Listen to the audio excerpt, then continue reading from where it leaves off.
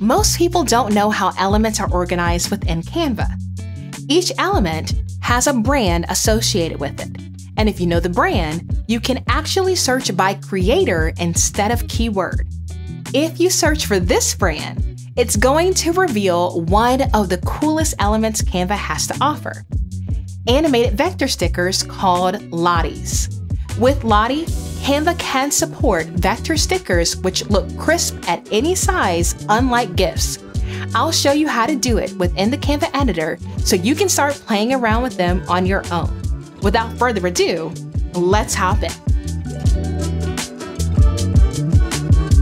While I am super excited about this new library of Lotties, I do want to make one thing clear. I still think there is a time and place to incorporate a good old fashioned GIF into a presentation, and Canva makes that incredibly easy through the Giphy app within Canva. Using this app is going to give you access to millions of GIFs and animated stickers without having to leave Canva. They are going to be the ones that are more pixelated, but these are your memes, and typically these are meant to be funny rather than just adding some animation to your designs. So if you want to utilize those GIFs in your design, you can either use in an existing creation or you can use it in a new one. Just tell Canva what you're trying to create. It will open up a blank template and on the left hand side, it will open up Giphy. If you are already in a design and you want to find this, you can also click on elements. You can type in GIF and you will see the button for use app. So the difference between using a GIF and using a Lottie would be if you're not trying to be funny, I would look at Lotties because it's going to provide you with more design options and it's going to look super crisp no matter what size that Lottie is.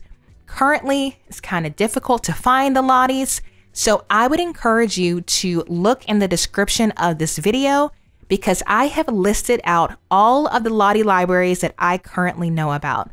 I'll make sure to stay on top of that as new ones come out, but that's the easiest way to find them. Before I show you what Lotties look like, I would encourage you to go to lashondabrown.com slash canva45 if you are not currently a Canva Pro user and you would like access to a free 45 day trial. Now, to find the Lotties, we are going to go back up to the element search bar and we are going to type in the specific set name for the Lotties. As you can see at the top, they're kind of crazy, so you'll just need to copy and paste from my description. Then we're going to click on See All, and you can see the library of Lotties that are available. Now, one thing that is really cool about these animations is when I drop them into my presentation, you're going to notice something very interesting in the top left hand corner. You can change the colors of this animation. Now, if you don't currently have this feature, it will be rolled out to everybody.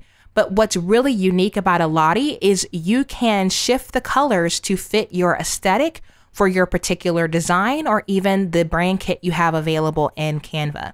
So just like any other element, you can click on that color and select a color from your brand kit to recolor your Lottie, or you can choose a default color or leverage the color picker tool here.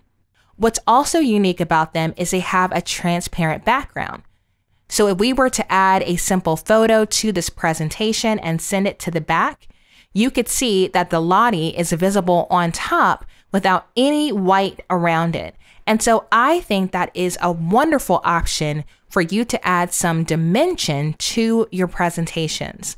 So Canva is constantly expanding the elements library to give you guys more options to look professional and to look exciting when you hit present on these presentations. So stay tuned, keep watching my tutorials, keep staying on top of Canva updates, but if nothing else, I encourage you to get a Canva Pro account if you don't currently have one. Having a pro account is going to give you access to everything that they roll out, so you don't have to worry about paying for any of these individual elements when you're ready to publish your designs. Thanks so much for watching this video. I'm LaShonda Brown, a Canva verified expert from Virginia.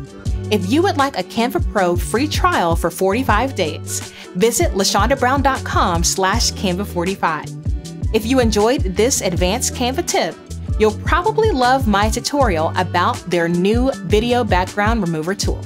Until next time, ta-ta for now.